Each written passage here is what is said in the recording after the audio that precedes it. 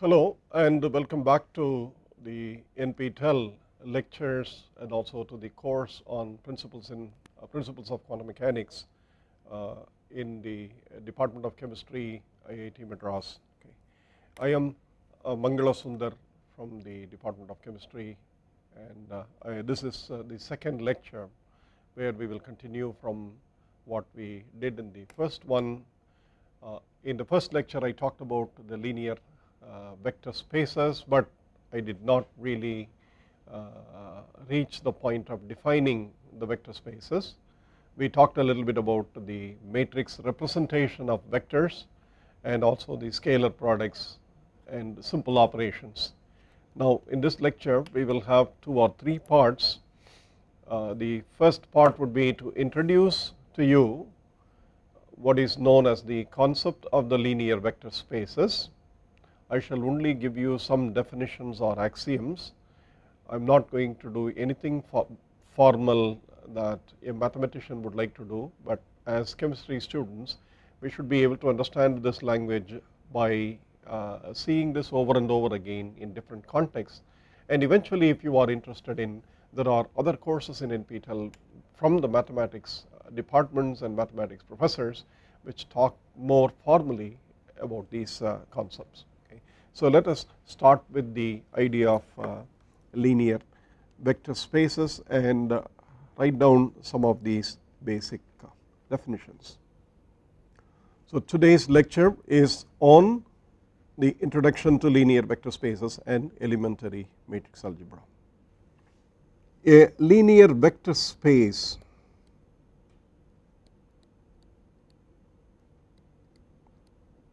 of n dimensions you have seen 1 and you have seen 2 and 3 dimensions without formal introduction, but the idea of the vectors and the kets and their components, but in, in general in n dimension uh, has a collection of vectors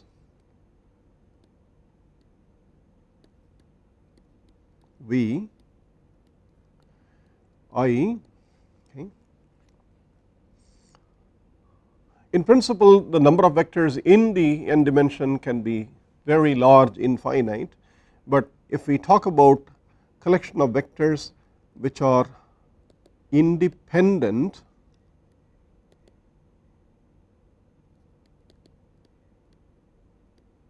we shall just define the linear independence in a minute then we have n such vectors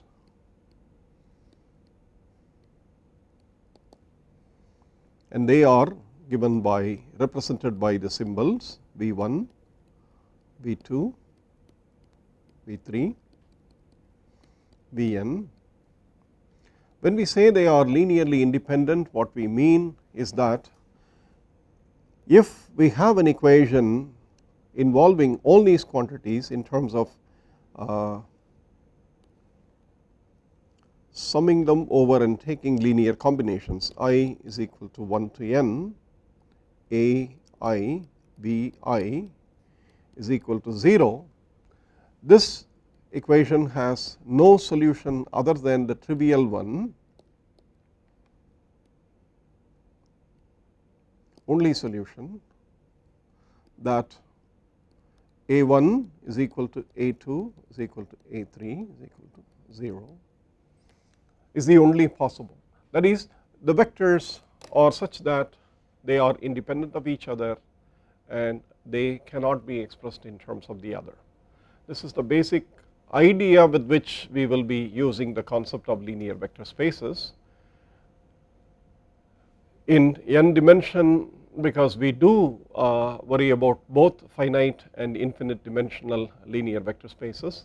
When we talk about uh, particle in a box or harmonic oscillators or hydrogen atom and when we talk about the abstract vectors and wave functions, wave functions when we talk about them you will see that there are infinite number of such vectors and so infinite dimensional idea is also important, but for keeping the algebra simple let us use what is known as a finite dimensional linear vector space. Now what is the space? It is defined as follows for all vectors V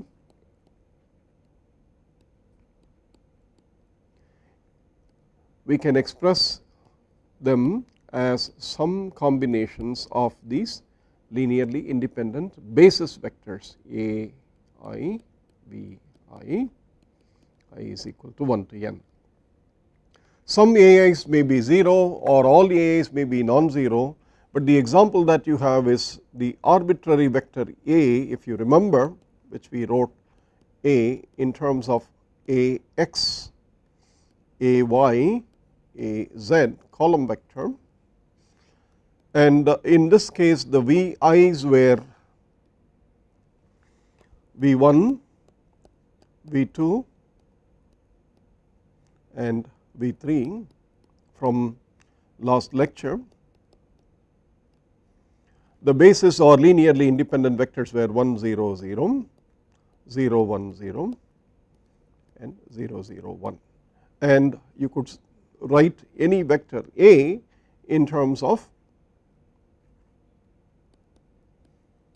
sum over i a i i if we write uh, i is equal to x y and z. So, this is an example, but this is general.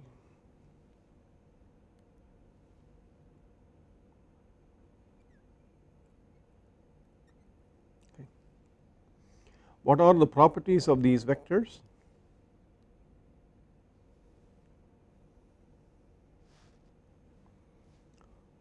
V 1 let me write uh, uh, V A plus V B. If we write that should be equal to V B plus V A. And that is an element of the vector space V. The vector space is the space which contains n linearly independent vectors and any arbitrary vector v which can be expressed as a linear combination of those linearly independent vectors. So, any any pair of vectors in that space is also an element of the vector space. A constant a scalar constant multiplying the vector space is written as a V A that is also an element of the vector space.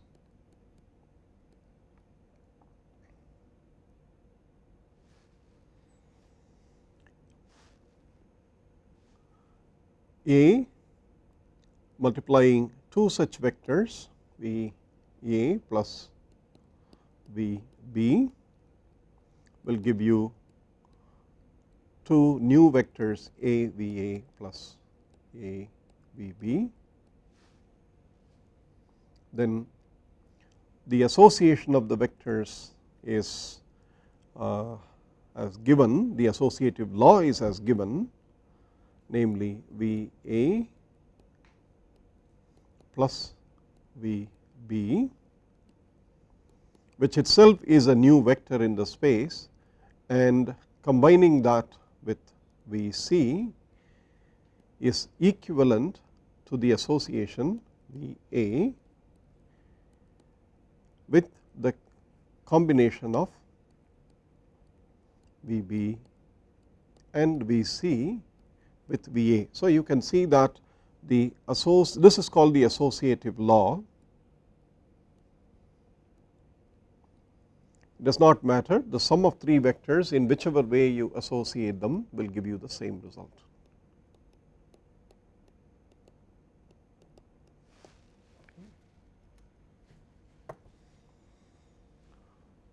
That is a null vector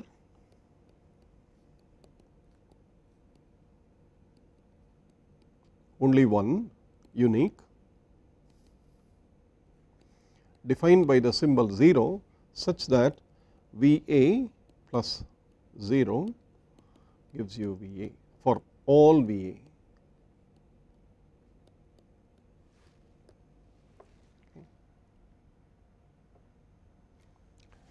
And the null vector is also defined by the presence of Uh, for every BA a vector which is minus BA such that the combination of the vector and its inverse or in this case the negative vector since we are talking about the summation the inverse of this vector and the vector will add to give you 0.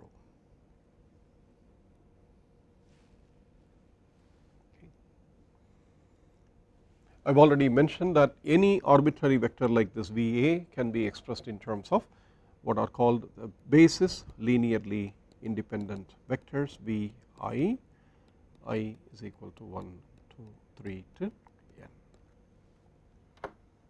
Let us complete this with uh, the corresponding definitions of what are called the dual vectors. We have already introduced the dual vectors in the last lecture. For the ket vector, all of these are kets, all of these are ket vectors, the dual vectors are given by the bra vectors. For every V i there is a dual V i such that an inner product or a scalar product can be defined. Scalar product in the familiar notation of vectors that you are familiar with scalar products. It is V i, V i is equal to the square of the magnitude of the vector V i square or it is also called the square of the norm.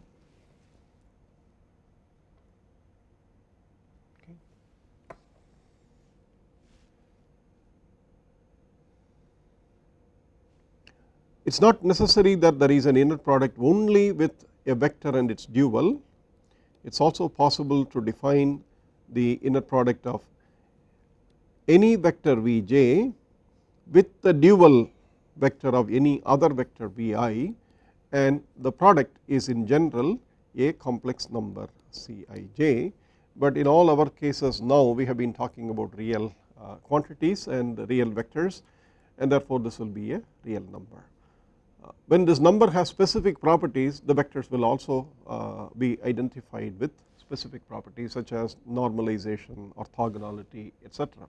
Okay. The definition of the scalar of a vector Vi multiplied by A that is given by A star Vi where a star is the complex conjugate of A.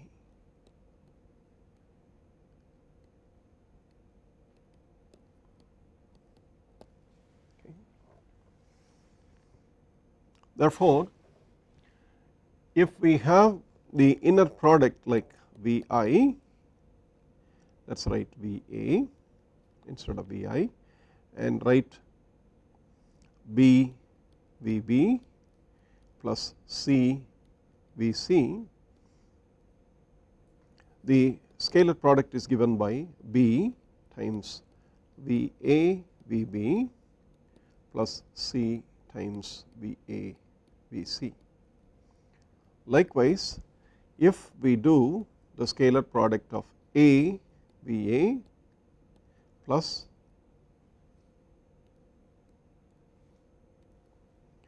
B VB and uh, take this inner product with VC then the result is A star VA VC plus B star VB VC. All of this I am introducing only as definitions or properties or whatever.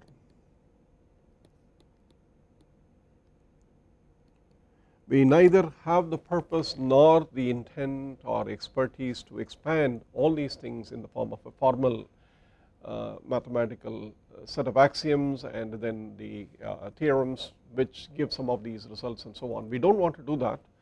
Uh, there are enough such courses which would give you the formalism here as chemistry and physics uh, students who are trying to understand quantum mechanics and uh, become operational in the use of quantum mechanics. Some of these things may be taken as the axioms and we will work with them. We have to be familiar in understanding them with what we already know or associating them with, with what we already know such as the 2 and 3 dimensional vectors that uh, in real space we always manipulate. So in that sense these things can be understood in the form of similar examples for 2 and 3D some of which are given in my problem sets.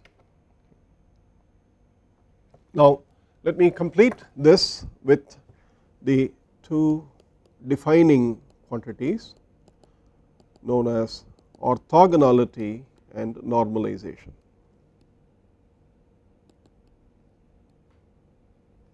and normalization or unit vector property. Two vectors Vi, Va and Vb are orthogonal if their scalar product gives you 0 Va, Vb is equal to 0 and that is the same thing as the scalar product between Vb and Va. Okay. A vector is normalized if its inner product or the norm of the vector Va, Va is 1. It is normalized and if a vector in a set if for example the linearly independent set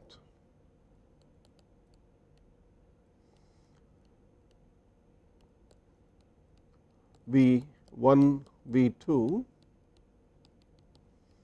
Vn has members which obey this property for any pair for any i j. If we have this property V i V j is equal to 0 if i is not equal to j and is equal to 1 if i is equal to j. This property is called orthonormal property and the set of VI's are known as orthonormal vectors.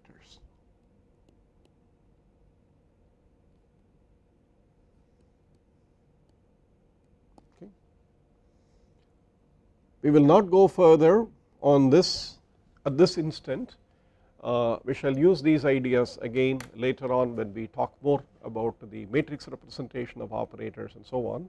But let me sort of leave this at this point of time and then go on to something which is also needed because we have to get to the quantum mechanics and the quantum chemistry quickly and then come back to this having done these things earlier we can come back and relate to them but I do not want to expand to this uh, beyond uh, uh, this point. Let me now pause for a break and start with the idea of elementary matrix algebra and in the rest of the lecture today I shall talk about one particular aspect of the matrix algebra namely that of uh, finding the eigenvalues and eigenvectors uh, which are special properties associated with matrices these are fundamentally important in any version of quantum mechanics whether it is done for chemists or physicists or uh, mathematicians and so on. Therefore, let us get to that heart of that uh, problem very quickly, write down some matrices, try and solve for their eigenvalues and eigenvectors and then relate them to the quantum mechanics and the quantum mechanical problems that we want to study later. So let me pause for a break now and we will come back with the eigenvectors. This is still the continuing, uh, this, this lecture continues with that part of it.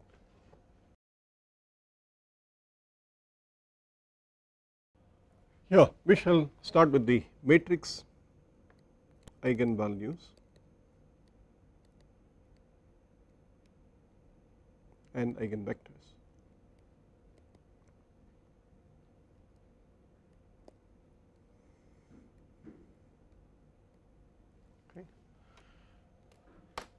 The in the last lecture you have seen matrix representations of vectors and also some operators. So, I believe you are familiar with uh, the addition, uh, subtraction, multiplication etc. of matrices. So, I assume that you are familiar with the basic algebraic properties and in this part of the lecture I am going to talk about one particular property namely the, the core invariants associated with a matrix the invariants are called eigenvalues or characteristic values as they are translated from German, uh, specific values and uh, these are fundamental properties of the matrices. So, if we take an arbitrary for example 2 by 2 matrix A11, A12, A21, A22, the eigenvalue uh, eigenvalues for this matrix are obtained by solving a an equation calling this as A solving this equation A times an eigenvector or a column vector x1 x2 is equal to a constant which is usually written by lambda donated I mean denoted by lambda x1 x2. So, essentially we are solving a set of inhomogeneous uh, equations involving the coefficients a11 x1 plus a12 x2 is equal to lambda x1 a21 x1 plus a22 x2 is equal to lambda x2 or in a homogeneous form if you write that it is a11 minus lambda x 1 plus a 1 to x 2 is equal to 0 a 2 1 x 1 plus a 2 2 minus lambda x 2 is equal to 0. This is homogeneous and has a solution only if the determinant of the coefficient matrix namely A11 minus lambda, A12, A21, A22 minus lambda if the determinant is 0. Okay. Then it gives you values for lambda you can see that it will give you a quadratic equation for lambda and the solution of the quadratic equation gives you the two roots of lambda and those two roots are called the eigenvalues. Therefore, the eigenvalue equation for any matrix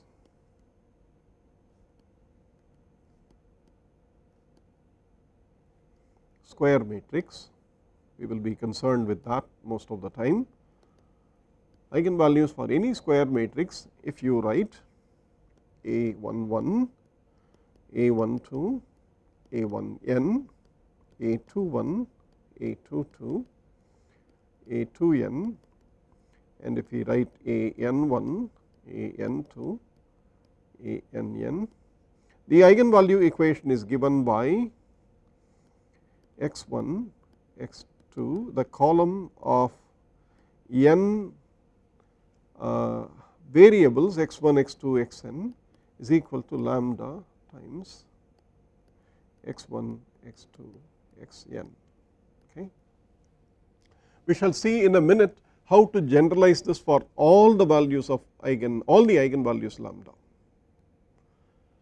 The way we have written we assume that there is one lambda, but just a minute before I told you that the determinant of the coefficients of the equations that we get out of it, the determinant has the lambda to the power of n and therefore in principle it can have in this case 2 solutions and in this case therefore there are n solutions. So lambda will have n possible different values not necessarily different sometimes they may be the same in which case we call lambdas degenerate but in general there are n values and how do we write this equation in general for a 2 by 2 first let me write that and then it is easy to see the general form. Now, let us get to the 2 by 2 and solve the eigenvalue equation. A21 A22 minus lambda. The determinant is equal to 0 and you know that the determinant is A11 minus lambda times A22 minus lambda minus A12 A21 and that is equal to 0. Therefore, the quadratic equation that we have is lambda square minus lambda into A11 plus A22 then we have uh, plus A11 A22 minus A12 A21 that is equal to 0. This is the same form as A x square plus B x plus C is equal to 0 that you have solved in the high schools uh, with the roots x being given by minus b plus or minus square root of b squared minus 4 ac by 2a. If you relate to that you see that a is equal to 1 and b is uh, minus a11 plus a22 and c is uh, this factor a11 a22 minus a12 a21 which is the determinant of the coefficient matrix uh, the matrix that you started with A, A11, A22 minus A12, A21. It is a determinant of that matrix and therefore, we can write the roots in this case lambda square minus lambda A11 plus A22 minus sorry plus A11 A22 minus A12 A21 is equal to 0 as lambda is equal to uh, minus b which is a 1 1 plus a 2 2 by 2 a which is 2 plus or minus 2 a is still 2 and then you have the square root of b square which is a 1 1 plus a 2 2 square minus 4 a c which is 4 times a 1 1 a 2 2 minus a 1 2 a 2 1 okay? And uh, the result is a 1 1 plus a 2 2 by 2 plus or minus 1 by 2 square root of a 1 1 plus a 2 2 square minus 4 a 1 1 a 2 2 will give you a 1 1 minus a 2 2 whole square and then the other is plus 4 a 1 2 a 2 1. Now, you can see that if uh, the numbers are all positive and real then you see that the roots are all positive and real because this will be positive and the square of any number any difference is still positive and therefore you have real roots and also positive roots okay. You can get imaginary roots for example if a11 minus a22 whole square is less than 4 a 1 2 a 2 1 and this is negative then you will have a plus or minus i times whatever. So, it is possible to have imaginary roots, but if you have imaginary or complex roots the complex roots for the quadratic equation will occur in pairs. So, this is the general solution for the eigenvalues. Therefore, you have two eigenvalues namely lambda 1 is equal to a 1 1 plus a 2 2 by 2 plus 1 by 2 square root of a 1 1 minus a 2 2 whole square plus 4 a 1 2 a 2 1 and lambda 2 is a 1 1 plus a 2 2 by 2 minus 1 by 2 square root of the same factor. I will just write that ditto. Okay. So you have two roots and therefore for each root in principle you have the solutions given by a11, a12, a21, a22, x1, x2 is equal to lambda 1 x1 x2 and you also have the solution a11, a one two, a two one, a two two. another x1 and x2 given by lambda 2 x1 and x2 and therefore you want to distinguish between these two eigenvectors x1 x2 here associated with lambda 1 and x1 x2 associated with the eigenvector lambda 2 you do that by introducing this uh, 1 right here as a convenient way that this one which let me color them if you are uh, okay, this one okay. So you have lambda 1 associated with the eigenvector column x11 x21 and likewise the eigenvector associated with eigenvalue lambda 2 being x12 x22 so you do the same thing. x12 x22 and it is 2 and 2 and again you see that this is a different eigenvector. Okay. So that we have two sets of eigenvectors for a 2 by 2 matrix. If the eigenvalues are different lambda 1 and lambda 2 the two eigenvectors can be easily calculated by simply solving the algebraic equation. But if the eigenvectors are one and the same for example, if you got a perfect square for the determinant equation that you had and there is only one root then you have what is known as a degenerate eigenvalue. We will discuss both of that in the examples that we study uh, after this. Okay.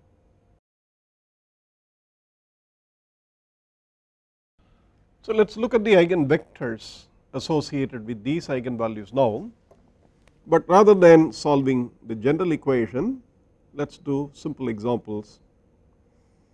And uh, say let us look at the eigenvalue.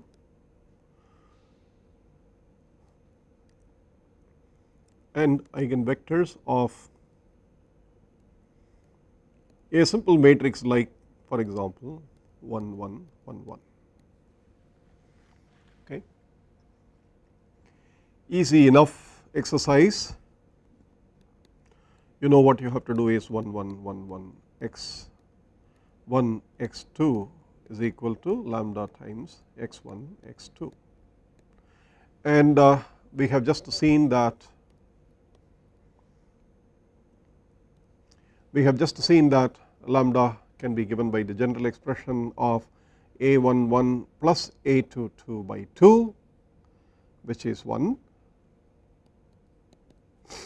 plus or minus a 1 1 minus a 2 2 whole squared plus 4 a 1 2 a 2 1 square root and therefore there is a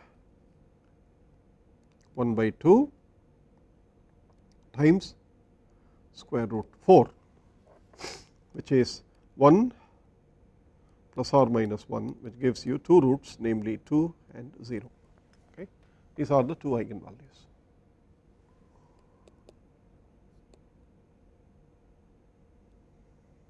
Okay. A mnemonic that is a rule to remember. If a matrix A is given as A i j, let me symbolize this, uh, we write this in the form of symbols A i j, then the eigenvalue equation is very simple that a 1 1 minus lambda a 1 2 a 1 n a 2 1 along the diagonals you introduce the minus lambda a 2 2 3 etc., and then you take the determinant to be 0 or the determinant of what you can do is a i j minus delta i j lambda the determinant of this is equal to 0. This delta is known as the Kronecker delta.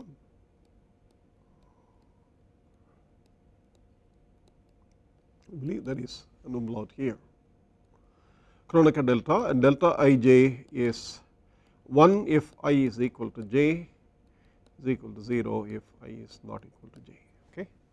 So this is uh, a simple way to remember the eigenvalue equation but coming back to our problem 1 1 1 1 we have two eigenvalues lambda is equal to 2 and lambda is equal to 0.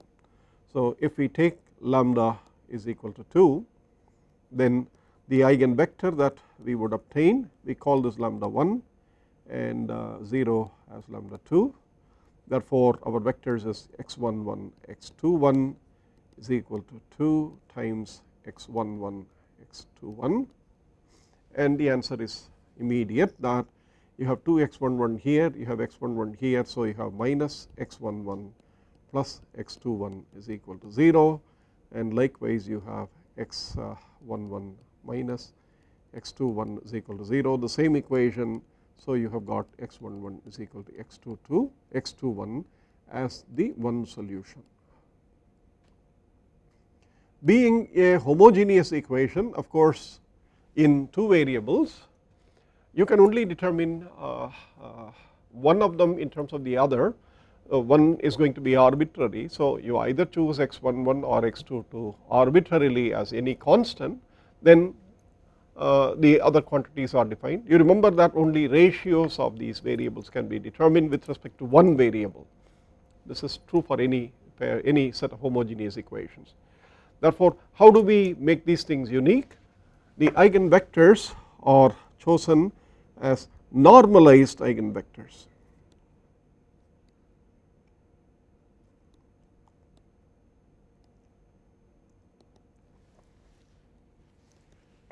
By that what we mean is that if the eigenvector is written as x11 x21 the normalization process is keeping in mind the fact that these can be complex uh, in some of the future examples the normalization refers to setting this quantity the absolute squares of these components to 1 the sum of the absolute squares.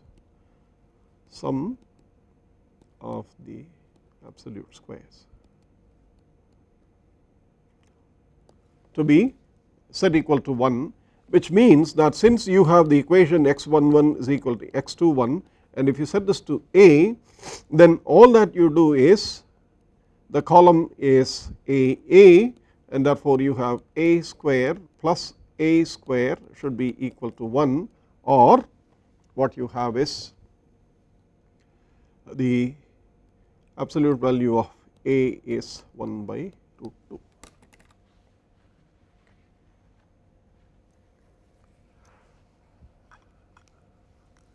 Which means in this case the eigenvector is given by x11 x21 is equal to 1 by root 2 1 by root 2 plus or minus 1 by root 2 if we do not worry about the absolute value if we simply say what is A. But the point is whether you choose plus or minus you will have to choose the same thing on both x11 is equal to x21 for lambda is equal to 2 this is the eigenvalue with which this eigenvector is associated. Therefore, the phases of the eigenvectors minus 1 by root 2 minus 1 by root 2 or plus 1 by root 2 plus 1 by root 2 the phases are not important and there is also these this has its own implications when we choose the phase of the wave function in quantum mechanics. Later on we will see that there is a Condon-Shortley phase convention which tells that arbitrary phase factors can be set equal to 1 and so on. Therefore, the relative phase is important but not the absolute phase of the eigenvector. What about eigenvalue lambda is equal to 0? The equation that we have to solve is 1 1 1 1 x 1 2 x 2 2 is equal to 0 because the eigenvalue lambda is 0. Then you see that the uh, algebraic equation is x 1 2 plus x 2 2 is equal to 0 which gives the solution x 1 2 is equal to minus x 2 2. Again using the argument that x12 squared plus x22 squared be set equal to 1 has the answer that the column x1 to x2 to is 1 by root 2 minus 1 by root 2. Now you see the relative phase between the two components that is important. So you either choose 1 by root 2 minus 1 by root 2 or you can use minus 1 by root 2 but then plus 1 by root 2. It does not matter which one of the columns that you use both of the columns will satisfy the eigenvalue eigenvector equation. Therefore the phase of the overall eigenvector the overall phase of the eigenvector is not important but the relative phases between the components of the eigenvector x11 x 1 2 x 1 2 1 these are all called components of the eigenvectors. The relative phases between the components of the eigenvectors are important. So let us summarize then the solution that we have namely for the matrix 1 1 1 1 the eigenvalues we had were lambda is equal to 2 and lambda is equal to 0 the eigenvectors that we had x 1 1 x 2 1 is 1 by root 2 1 by root 2 and here we had 1 by root 2 minus 1 by root 2. Let me write this as minus and leave this as plus that is my choice there is no reason for that or maybe there is a reason we will find out. If we want to write the matrix 1 1 1 1 times eigenvector is equal to eigenvectors is equal to eigenvalues all of them all of them times eigenvectors all of them. Then we have to remember that whatever you write here in this equation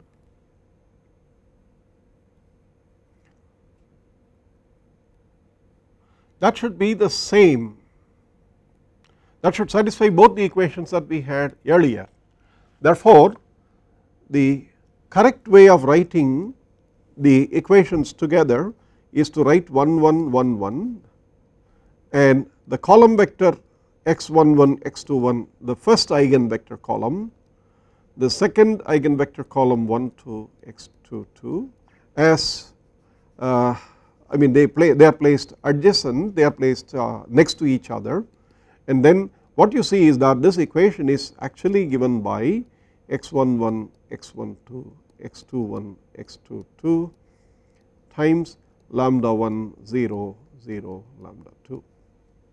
This is the equation which can be broken down into two component equations namely matrix times eigenvector is equal to lambda 1 times eigenvector and matrix times eigenvector 2 is equal to lambda 2 times the eigenvector 2. If you want to combine both of them you will see that the matrix eigenvalue vector is equal to the eigenvector matrix times the eigenvalues okay or the common notation for this is u and what you see is a u these are matrices is equal to u lambda. Therefore, if we want to write only eigenvalues on this side you may multiply this on the left by u inverse which exists of course u inverse a u is equal to lambda.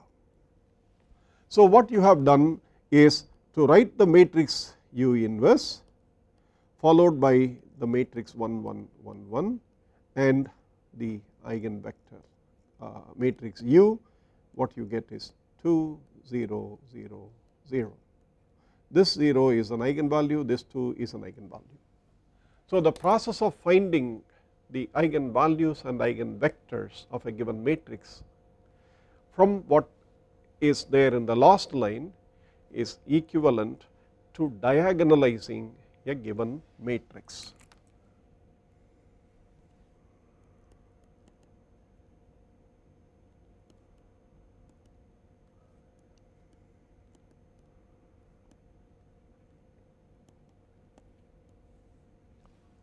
I will explain this in the next segment.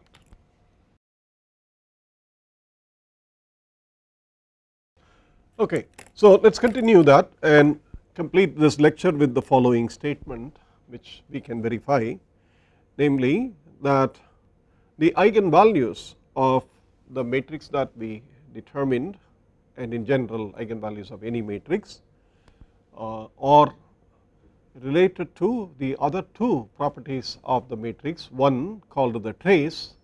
The trace is the sum of diagonal elements of a matrix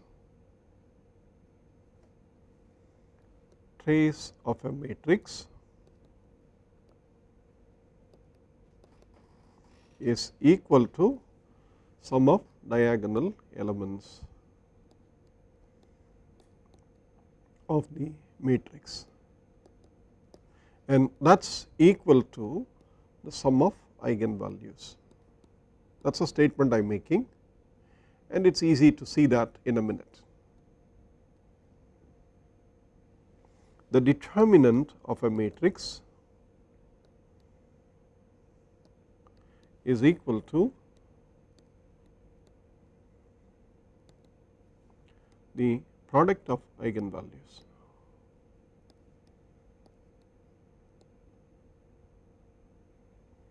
We shall see that for this matrix 1 1 1 1 the determinant here is 0 the trace is 2 the determinant is the product of the matrix the product of the eigenvalues lambda 1 times lambda 2 which is 2 times 0 which is 0 and the trace is the sum of the eigenvalues lambda 1 plus lambda 2 which is 2 plus 0 which is equal to 2. So, it is easily verified okay? All I have done is verify. But if you remember that the process of finding the eigenvalues of eigenvectors involved or led to what we call u inverse A u is equal to lambda matrix now. The lambda is a matrix which contains lambda 1, lambda 2 etc that is along the diagonal. We did a 2 by 2 matrix, but if we did that for n by n you will get n eigenvalues along the diagonals and the U matrix will be n column vectors the first column vector, the second column vector, the third column vector etc. that will be the U matrix. Therefore, the process of finding the eigenvalues and eigenvectors led to our recognizing that it is the same thing as diagonalizing a matrix. Now, a property of the trace of a matrix is or trace of a matrix product product of matrices is that the trace is cyclically invariant. If the matrices are uh, commute I mean commuted cyclically then the trace of the matrix product does not change that is for example trace of A B C if we do that where A is a matrix B is another matrix C is another matrix this is equal to the trace of B C A we have taken the cyclic order A B C and it is equal to trace of C A B okay. cyclically invariant.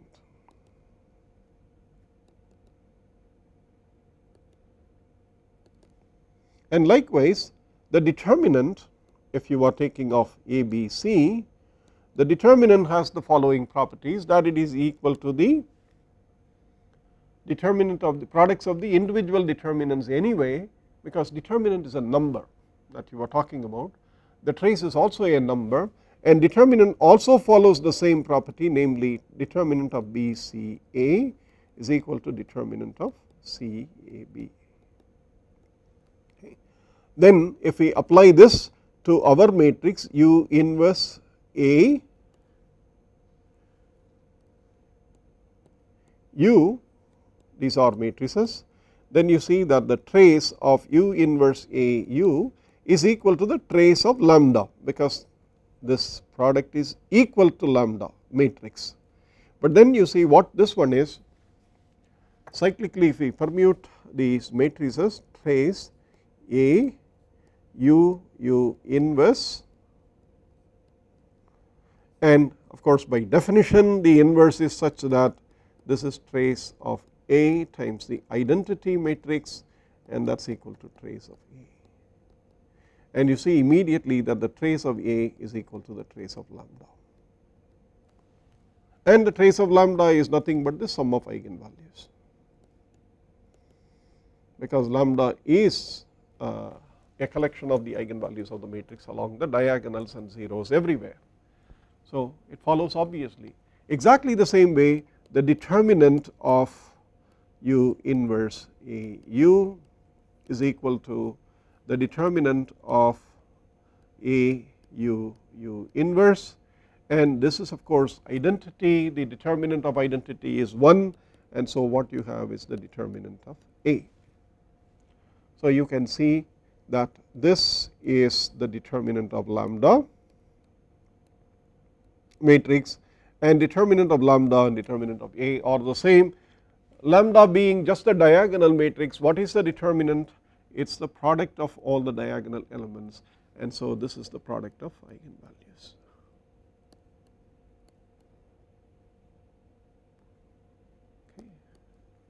These are fundamentally important properties in quantum mechanics whether you do chemistry or biology or physics or whatever it is. If you do mechanics and if you are going to study the properties of atoms and molecules using the basic Uh, microscopic mechanics then the mathematics associated with that these properties have to be kept in mind. Okay. So what I would therefore leave you with is an exercise to verify 1. Our U matrix was 1 by root 2, the U matrix were the two columns that we did 1 by root 2, 1 by root 2 and then I chose minus 1 by root 2, 1 by root 2. Okay. Now, the what is the U inverse for this matrix?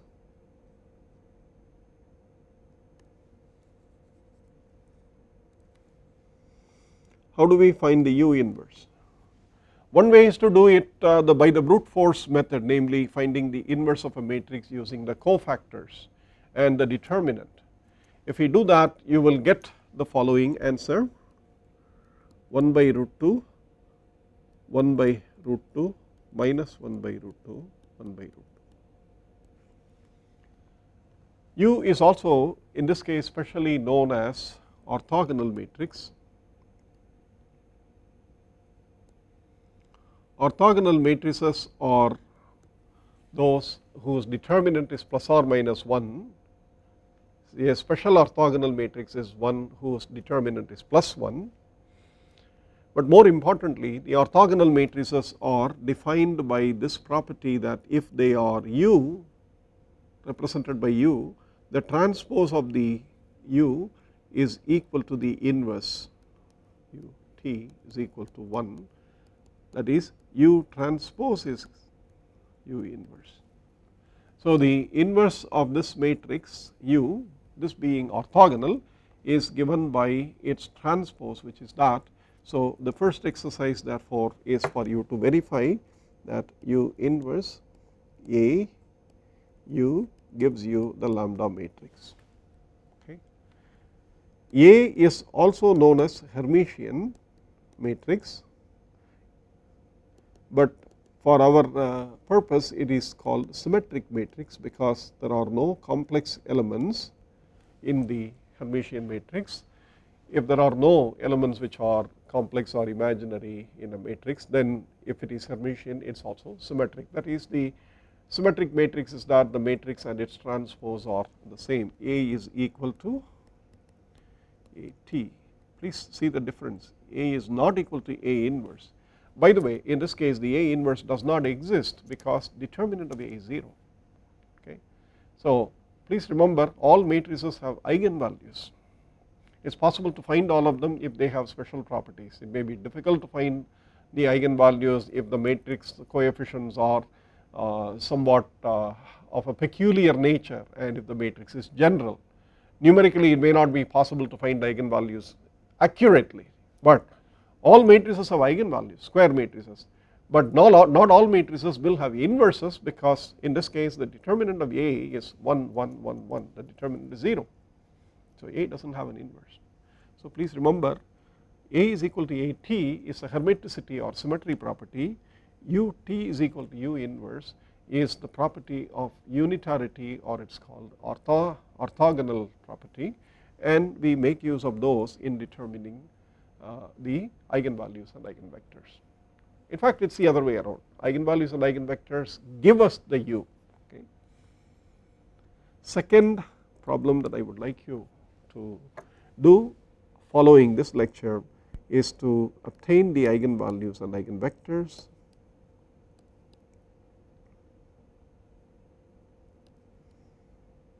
of the following matrices.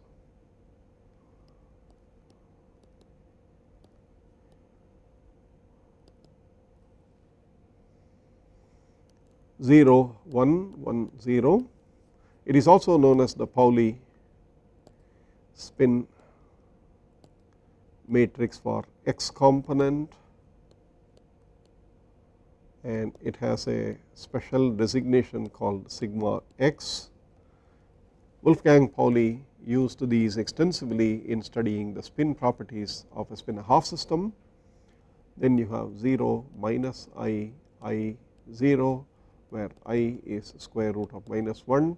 I mentioned Hermitian matrices, Hermitian matrix essentially has a j i the coefficient of a Hermitian matrix is equal to a i j star the transpose complex conjugate element is equal to elements transpose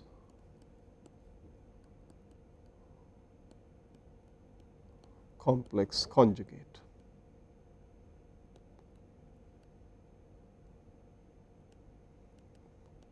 And this is a Hermitian matrix because the transpose of this gives you 0 i minus i 0 and the complex conjugate gives the original matrix. This has eigenvalues real eigenvalues this has real eigenvalues and determine the eigenvalues and eigenvectors of these two matrices as examples. We will continue this exercise slightly more in detail in the next lecture by taking some complex examples for a 3 by 3 and make some general statements and those statements along with the statements of the uh, this lecture and the statements of the previous lecture form the core of the linear algebra basis that you require and therefore I request you to go through these exercises and verify for yourself that what is said is it, it makes sense to you. We will continue this in the next lecture and determine the eigenvalues of 3 by 3 matrices. Until then thank you very much.